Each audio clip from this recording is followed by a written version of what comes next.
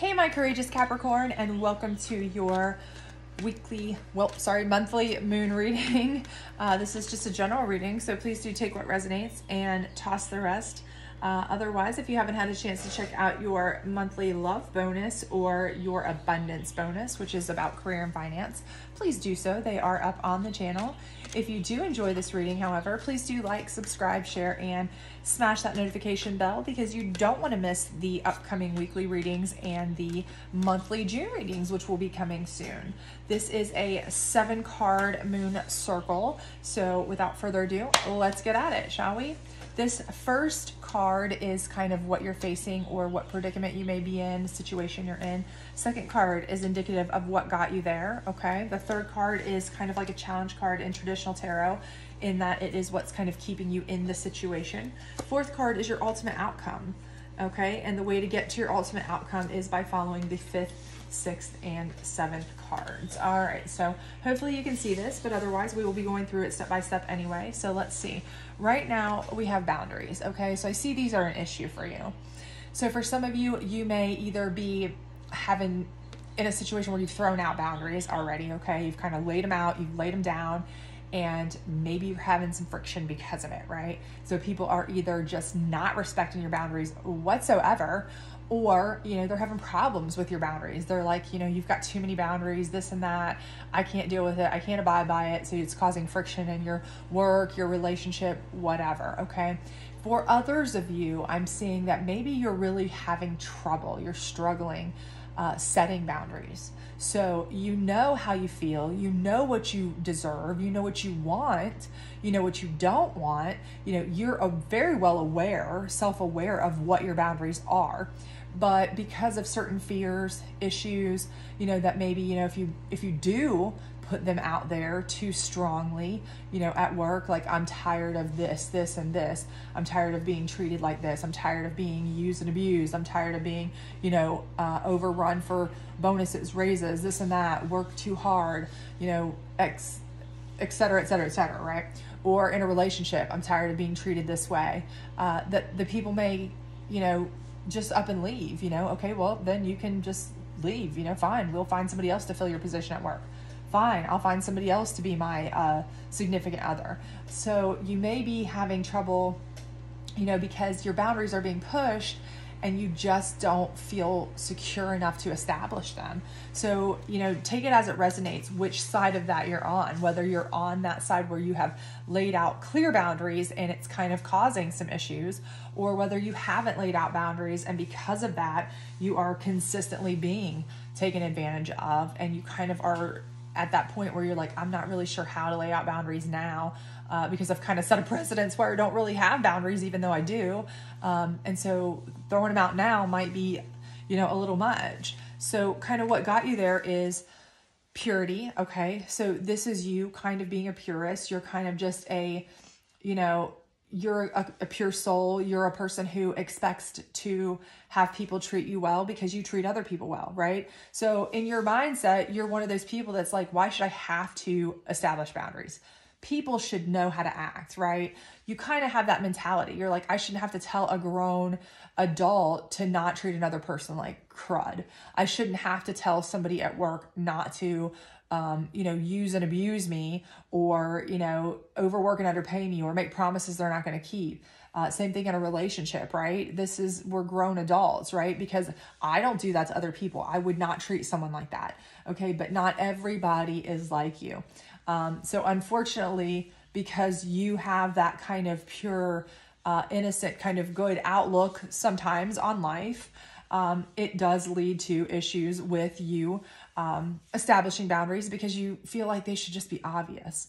Um, and they're not for everybody, unfortunately. Okay. And for others of you who have thrown out the boundaries, this is a problem because for some of you, you are so um, stringent in your boundaries because you're like, listen, I treat people with extreme respect. So I expect no less. So your boundaries may be considered, you know, kind of stringent, kind of old fashioned to some people, right? In today's age, you know, they may be like, excuse you, you're a little asking a little bit much for me to not treat you like crap, right? Because let's just face it, people aren't the nicest anymore sometimes. They can be very much. If you let them walk all over you, they will. That's let's be honest.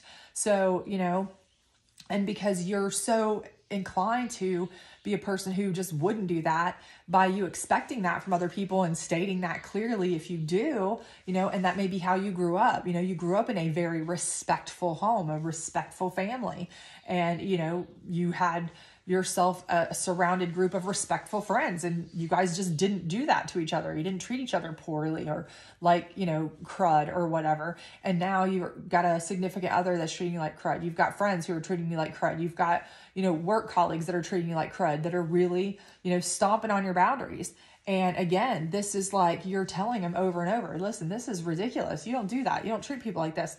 And it's like they're either not listening to you or they're just disrespecting you. And it's really causing friction for you, right? So just take it as it resonates, which side of that you're on. But again, I do feel like the main issue here is that in general, you are a very respectful person and you kind of want everybody else to automatically be that way. So I do think that either way, no matter which side you're coming from, that's kind of the problem.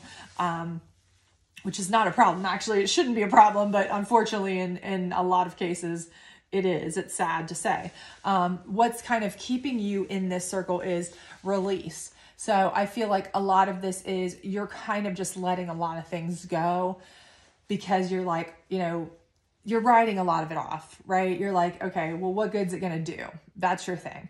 I've said my piece and nothing's changing. What can I do? You know, I can say certain things at work, but people just do what they're going to do anyway. I can say things over and over to my person and they promise to change. Maybe they do for a little bit, but you know, at that point, it's like, then they seem to kind of go right back to their old ways or whatever. It seems like I'm the only person anymore you know, that still respects people's boundaries or this or that. So you've kind of almost, it's almost like you're kind of conditioning yourself into kind of acceptance, right? You're releasing um, your expectations a little bit to kind of almost condition yourself into acceptance because so many people are just kind of stomping on your boundaries. And it's like anytime we get so used to something being a certain way. It's almost like we condition ourselves like, are we the crazy ones? You know, are we the ones who are like asking for too much? What is going on here? Right.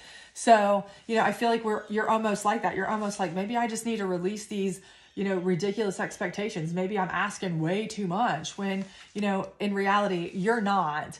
It's just people, they didn't grow up like you did or they didn't come from where you did or they don't have the same respect that you have or you know just everything's kind of not what you you want. So but again it's one of those things. When you're the more that it becomes normalized the harder it is for you to like accept that you're the, you're in the right right? You start to kind of release those ideas like okay well it must just be me because everybody else seems fine with this nonsense so you know, but that's what's kind of keeping you in it. But your ultimate outcome is power. And in this particular deck, power is indicative of you kind of harnessing your strengths, your power, your, you know, intellect, your intestinal fortitude, your mental fortitude, your emotional fortitude, all of that for the benefit of you and your path. Okay. So it's not like the masculine card in this deck, which is kind of like taking the bull by the horns in every situation and really, you know, putting your foot down. It's not like the sovereign where you're just kind of taking back your control if somebody's kind of been pushing you around. This is more kind of like just asserting your control over your life situation and how you use your uh, tools um, emotionally, mentally, physically, socially, all of that for your benefit. Okay. And I think that's ultimately, you know, one of the best things you can do with boundaries is, you know, ultimately you're going to have to decide I either can or can't put up with this. And whatever I can and can't put up with, I'm going to move on in my direction and set that precedence going forward because maybe I just didn't set it well enough from the beginning and we got into a pattern or habit. But from now on, I will make that 1 million percent clear, right? So, how do you get there? Well, the first thing is realization. And I think this is number one is you need to realize you need to find some this is more like self-realization, okay? So, this is the self realization of what you feel like you want to tolerate and what you don't. What do you accept and what you won't? What if you go through this keyhole into your future, if you're looking into your future where you want to be? What kind of life would you want to accept and not accept okay? And it doesn't matter whether society approves of it whether it's what's common whether it's what's acceptable or whether you're considered to be old fashioned or prude or strict or you know uh, you know considered to be you know a lot of times people consider it to be a you know a b the b word when you have standards, right? That's not really the case. You just have standards, right? You're not being a B or whatever. Um, and I think you all know what I'm, I'm referring to with that word, but some people call it that because you're like, I'm not putting up with this, I'm not putting up with that. And that's not what it is. It's just that you have standards. You don't want to be treated as less. And sometimes in today's society, that gets branded as you being difficult, you being bossy, you being all these things, right? Unfortunately, well, and for you, maybe you're releasing those ideas because it's becoming so commonplace that that's what that is. And you're like, well, I'm not that person. So maybe I, maybe I'm just expecting too much. No, you need to self realize here that when you look at your life, you want the life that is exactly what you've established in your mind, what you've, you know, had or expected. And it's okay to expect that. And it's okay to set those boundaries, right? Those are your boundaries. And it's not okay for anybody else to tell you that those are acceptable or not acceptable, right? They're your boundaries. This is your life, right? So you decide, okay? And that's where you first decide this first realization. The second realization is coming to balance, right? So here's where you balance what you can and can't live with, right? So there may be certain things that even in your self realization that you say, okay, you know, I realize maybe I am a little bit OCD or stringent or specific about these tiny little things, you know, at home.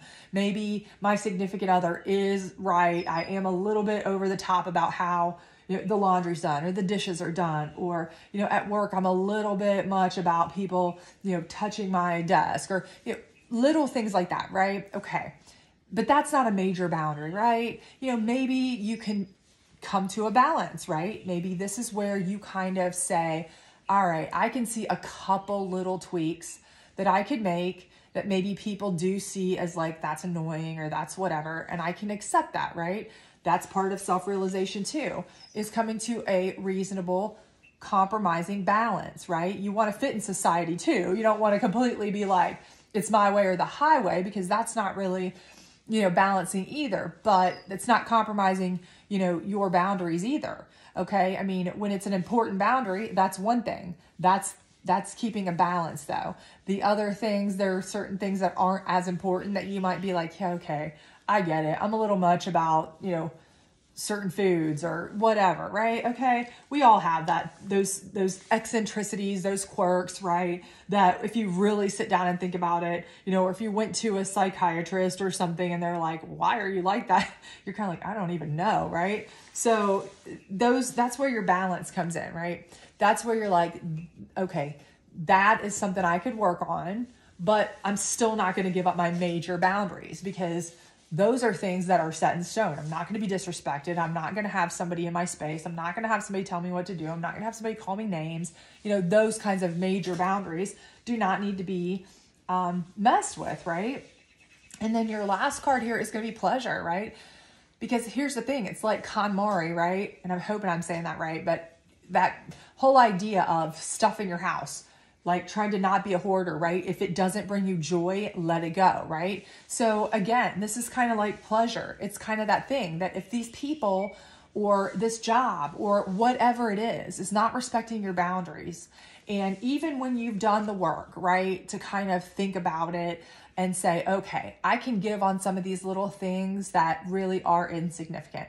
I am willing to compromise. I am willing to try to be reasonable, but I'm not going to give on something major like letting you call me names, disrespect me, stay out at night, overwork me and underpay me. These kinds of things. You know, major common things that should be common sense to most people that are decent human beings, right? Okay, if it doesn't bring you pleasure at that point, if they're still not doing things that are kind enough to make you feel like you are happy, you are content, you are glad to be at your work, I mean, as much as you can be glad to be working for the most part, you're glad to be with your significant other, then that's your sign that most likely they're still not respecting your boundaries. They're still not giving to you what you deserve to be given. You know, you've tried to balance. You've, you know, you've realized that, you know, what it is you can deal with, what you can't, what's acceptable, what's not. You know, you've tried to be giving enough. You've tried to make you know, some sort of concessions, right? And balance things out as much as possible. And at that point, if they're still not willing to try to do the things that help make you happy too, right? Ex- expressly, those things that are, you know, respecting your boundaries, respecting the things that you absolutely uh, are make or break on, then at that point, they just need to go, right? At that point, you need to harness your power to say, listen, I'm in, I'm enforcing these boundaries. I'm playing my trump card, which is my talents, my skills, my uh, you know, emotional, my emotional power, my physical power, my in- intellectual power.